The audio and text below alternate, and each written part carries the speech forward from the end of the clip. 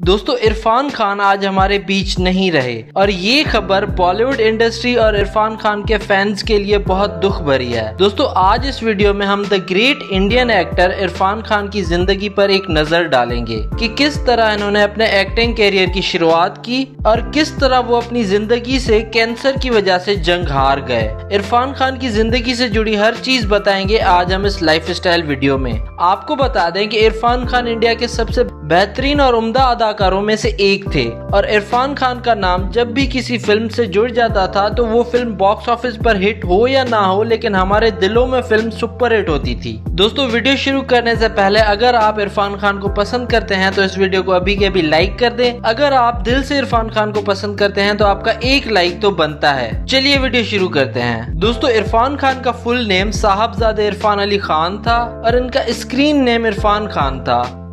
और इनका जन्म 7 जनवरी 1967 को जयपुर, राजस्थान में हुआ और 2020 के हिसाब से इनकी उम्र हो चुकी थी 53 इयर्स आपको बता दें कि आज 29 अप्रैल 2020 को इरफान खान की डेथ हो गई है और 20 अप्रैल को ये खबर आई थी कि इरफान खान की सेहत अचानक बिगड़ने से उन्हें मुंबई के हॉस्पिटल में भर्ती कराया गया और इस खबर से काफ़ी पैनिक क्रिएट हुआ उनके चाहने वालों में। उसके बाद फिर इरफान खान के मैनेजर ने एक इंटरव्यू में बताया कि इरफान खान को कॉलिन इन्फेक्शन हुआ है, जिसकी वजह से इन्हें हॉस्पिटल में एडमिट किया गया है और इरफान खान इस वक्त डॉक्टर्स की निगरानी में है। आपको बता दें कि दो साल पहले मार्च 2018 में इरफान खान ने अपने फैंस को सोशल मीडिया के ज़रिए कैंसर होने की खबर दी थी और ये खबर देने के बाद वे लंदन चले गए ट्रीटमेंट के लिए और लंबे वक्त तक इस बीमारी से लड़ने के बाद वे पिछले साल भारत वापस लौटे। और वापस लौटने के बाद उन्होंने एक मूवी में भी काम किया, जिसका नाम था अंग्रेज़ी मीडियम। और ये मूवी उनकी ज़िंदगी की आखिरी मूवी थी।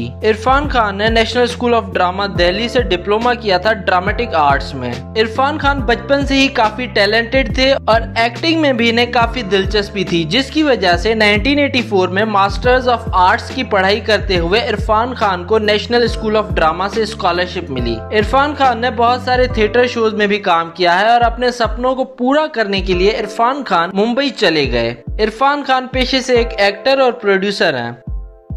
अब चलिए दोस्तों, बात कर लेते हैं इरफान खान के कैरियर की। इरफान खान ने अपने कैरियर की शुरुआत टीवी शो से करी और इन्होंने सबसे पहले जिन शोज़ में काम करा, उनके नाम थे चनकिया भारत एक खोज और बनेगी अपनी बात। इसके अलावा इरफान खान के के मेनन के साथ स्टार प्लस के शो डर में भी काम कर चुके हैं। इरफान खान ने अपने फिल्मी कैरियर की शुरुआत 1988 में करी फ़िल्म सलाम बॉम्बे के साथ। और इस मूवी में इन्हें एक छोटा सा रोल मिला, लेकिन इनकी किस्मत इतनी खराब थी कि मूवी के फाइनल प्रीव्यू में इनका रोल ही काट दिया गया, और आगे इरफान खान को और भी ज़्यादा स्ट्रगल करना पड़ा।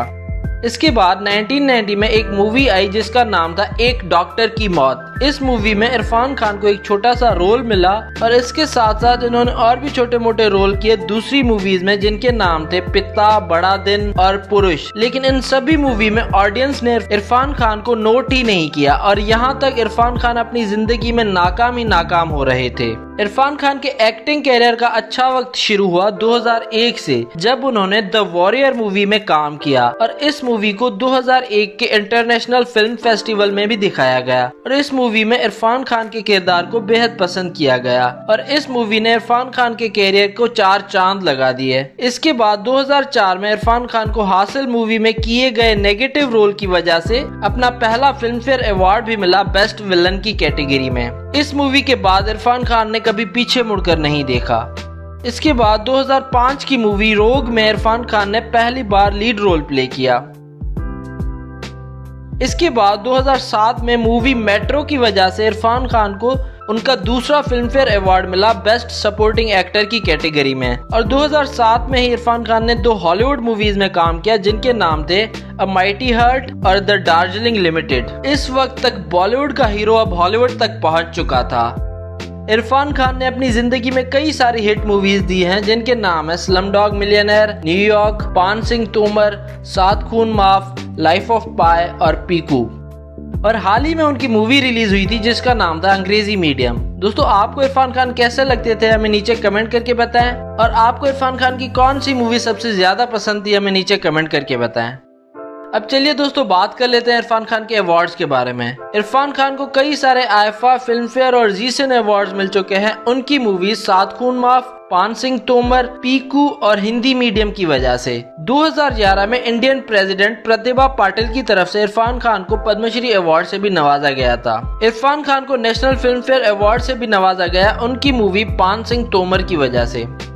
अब चलिए दोस्तों, आपको मिलवाते हैं इरफान खान की फैमिली से। इरफान खान की बीवी का नाम है सुतापा सिकदर। इरफान खान के बेटों का नाम है बाबिल खान और आयान खान। इसके बाद दोस्तों अब बात कर लेते हैं इरफान खान की इनकम की। इरफान खान एक मूवी करने के पाँच करोड़ रुपए चार्ज करते थे। इरफान खान की ज़्यादातर इनकम उनकी ब्रांड एंडोर्समेंट से आती थी, जिसके वो एक करोड़ रुपए चार्ज करते थे। और इसके अलावा इरफान खान ने कुछ इन्वेस्टमेंट्स भी की हुई थी, बीस करोड़ की, उनसे भी इनकी अच्छी इनकम होती थी। अब चलिए दोस्तों बात कर लेते हैं इरफान खान की नेटवर्थ की। इरफान खान की नेटवर्थ है अस्सी करोड़ रुपए, और पिछले तीन सालों में इरफान खान की नेटवर्थ में 80 परसेंट की इंक्रीज आई थी। चलिए दोस्तों, अब बात कर लेते हैं इरफान खान के हाउस की। आपको बता दें कि इरफान खान मुंबई में एक शानदार घर में रहते थे, जिसकी प्राइस थी तेरह करोड़ रुपए। और इन फ़ोटोज़ और वीडियोस में आप उनके घर की कुछ झलक देख सकते हैं।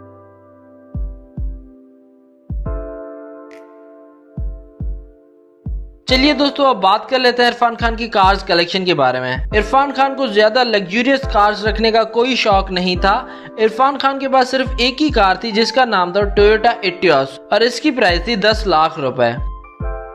तो ये थी इरफान खान की लाइफ स्टाइल वीडियो अगर आप इरफान खान के फ़ैन है तो इस वीडियो को कर दो लाइक और साथ ही साथ शेयर कर दो अपने दोस्तों के साथ। और हमें नीचे कमेंट करके बताओ नेक्स्ट वीडियो किस सेलिब्रिटी पर चाहते हैं आप। Subscribe our channel and we hope that you like our videos and also don't forget to visit our website celebritynews.blogspot.com which is shown in the video and don't forget to follow us on Facebook and Twitter.